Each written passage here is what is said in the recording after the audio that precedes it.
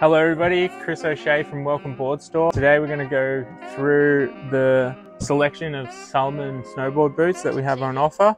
First two boots we're taking a look at is the Launch. Comes in a lace boa and a double boa option. The lace boa is going to be good for that skinny ankle because it does have an inner cinch that when you wind this, and pull your ankle in.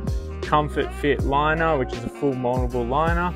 Essentially two of the same boots except for this one's double boa. Next up is the Dialogue. Black color this year, comes with the responsive liner, full intuition, double boa. This model here we stock in wide and regular, so if you've got a wider foot, you've got that option there. Next up, we're taking a look at the Echo. Looking pretty mint this year.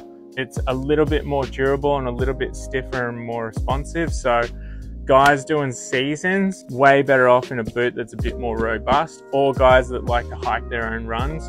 A better liner more durability outsole a little bit stiffer of a boot and comes in the double boa as well. These come in a wide version as well for anyone who has a wider foot.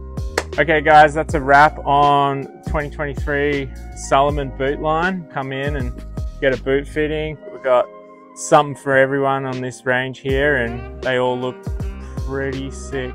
Get psyched, snowboard season's coming.